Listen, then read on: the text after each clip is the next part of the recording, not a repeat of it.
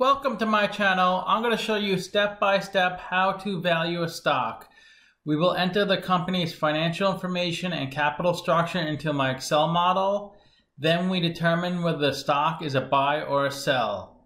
At the end, we calculate and look at the financial ratios. I'm going to do this with you throughout the entire video, so it's like we're doing it together. I answer every single comment, so feel free to ask a question or leave your thoughts. The company we're going to look at is Barrick Gold, and this is a mining company that produces gold and copper. This has been pretty popular in the news lately because Warren Buffett invested a lot of money in this company. Let's get started with the model. This company has a market cap of $48.1 billion. So that's the value of the company according to the stock market. And they're trading at $26.99, so that's one share of stock. And the way you value a company is you estimate the future free cash flows and then discount that back to today's value, which is exactly what we're doing in this video. Now I'm pulling their actual free cash flows. And free cash flow is cash flow from operations minus capital expenditures. Next, we're going to pull the net income. That's the profit and loss on the income statement. And we also need the revenue, which are the sales for each year. Let's look at the numbers. So they have positive free cash flow every year, which is good. One year they had negative net income, but they have positive free cash flow, so they generate more cash than they spent. And it looks like their sales are pretty steady. It actually dropped in 2018, but it, it was its highest in 2019. Let's look at a capital structure. The interest they pay in their debt is $426 million. Let's see how much debt they have. We'll go to the balance sheet. We'll go to liability section. And current debt of 350 million, that's debt due within 12 months.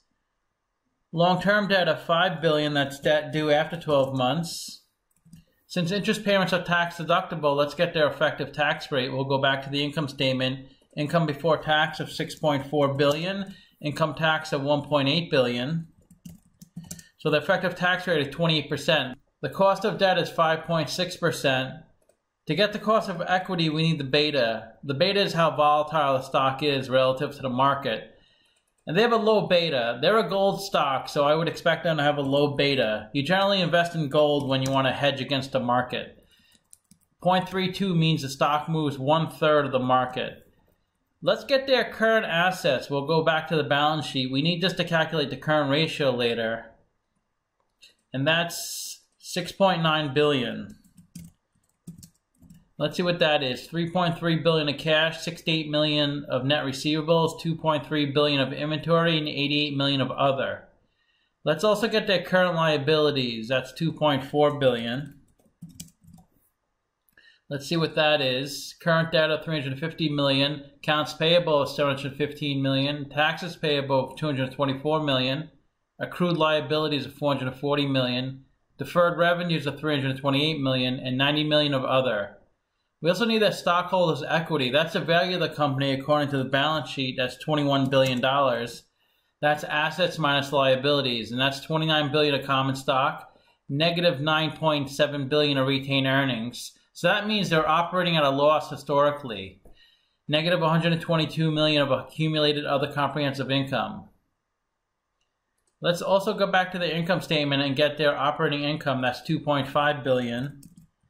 Let's look at a capital structure. Cost of debt is 5.6%. They're 20% debt. Cost of equity is 4.8%. They're 80% equity. And the WACC is 5%, which is a blend of the cost of debt and cost of equity. And that's the discount rate we're going to apply to the future cash flows. We estimated four years of future free cash flows. That's here in blue. We also estimated a terminal value, which is all cash flows past year four. We discounted those numbers back to today using a weighted average cost of capital. That's in green here. We get a value of the company of $37 billion. We divide that by 1.8 billion shares. We get an intrinsic stock price of $21. It's trading at $27, so it's trading at a 28% premium. So it's a sell according to the model. Let's see what Simply Wall Street says. They're at $23, so they're also saying the stock is overvalued. Let's see what the stock has been trading. So of course it's been up because gold has been up the past few months but it looks like it's at its highest point of all time. Let's look at the financial ratios. They have a good PE, a not such a good price of sales, and a really good price to book. PE is stock price over earnings per share. To calculate earnings per share, that's net income over shares outstanding. I like to see below 15. They're at 12.1. So investors are paying $12 for $1 of net income. Price of sales is stock price over sales per share. To calculate sales per share, that, that's revenue over shares outstanding. I like to see below 2.5. They're at 5.0. So investors are paying $5 for $1 of revenue. Price to book is stock price over book value per share.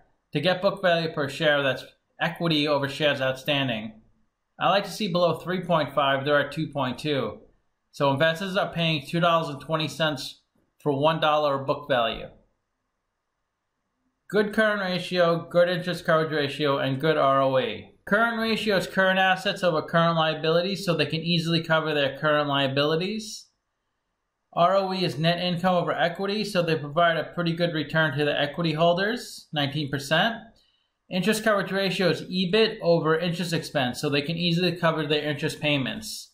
And the best way to look at ratios to compare them to other companies, I did a video on Kirkland Lake Gold, and they're here on the right, and Barrick is here on the left. And Barrick is better in prices earnings, price to sales, price to book, and current ratio. All important ratios. But Kirkland has a much better ROE and they're 0% debt, while Barrick is 20% debt, which is not too bad. But Barrick is a much bigger company at 48 billion market cap, and Kirkland's 14.4 billion market cap. So leave a comment, let me know what you think. I always reply to comments. Thanks for watching.